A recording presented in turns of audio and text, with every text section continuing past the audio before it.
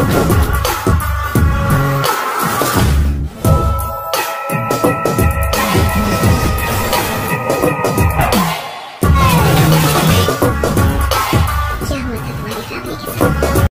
Friends finally विद्युत जनवाल की latest movie सनक का इंतज़ार कर रहे सभी फैंस का आज इंतज़ार लगभग खत्म होने वाला है। वही दोस्तों, हमारे आज की इस वीडियो में हम बात करेंगे इसके ट्रेलर की ऑफिशियल रिलीज़ डेट के बारे में और साथ ही जानेंगे कि इसकी क्या कुछ है ऑफिशियल रिलीज़ डेट और साथ ही ये भी जानेंगे कि इसका कितना हो सकता है पहले दिन का बॉक्स ऑफ़िस कलेक्शन तो चलिए शुरू कर लेते हैं इस वीडियो को बिना किसी देरी के। तो देखते रहेगा पूरा वीडियो आइए वीडियो की शुरुआत में बात कर लेते हैं इस शानदार मूवी के धमाकेदार स्टार कास्ट के बारे में। तो इस शानदार मूवी के धमाकेदार स्टार कास्ट में आप सभी को विद्युत जामाल जो की लीड एक्ट्रेस का किरदार निभाते हुए नज़र आएँगे और वहीं आपको लीड एक्ट्रेस का किरदार निभाते हुए नज़र आएँगे, नेहा दुपिया जो काफ़ी यंग ब्यूटीफुल टेंटेड एक्ट्रेस भी मानी जाती हैं। वही दोस्तों कनिक्षा वर्मा के डायरेक्शन में बनने वाली इस मूवी को बहुत अच्छी तरीके से पंद्रह अक्टूबर के दिन रिलीज़ किया जाना है हॉट स्टार वीआईपी के तरह। लेकिन फैंस थोड़े से निराश है क्योंकि फैंस इसको सीधा थिएटर में ही देखना चाहते थे। लेकिन क्या कर सकते हैं, कोरोना के आगे सब कुछ फेल है। लेकिन दोस्तों, इसके जो ट्रेलर की रिलीज़ डेट निकल कर सामने आ रही है, हम सभी के बीच में वो हो सकती है दो अक्टूबर के दिन, जो काफ़ी अच्छी बात रहेगी इस मूवी के नए से। और ये इसकी शायद हमारे हिसाब से कंफर्म डेट भी मानी जा रही है इसके ट्रेलर की रिलीज़ डेट को लेकर।